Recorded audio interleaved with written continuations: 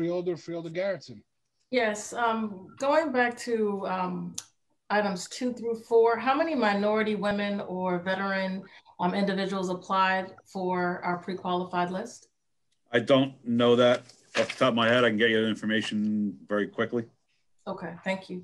You're welcome.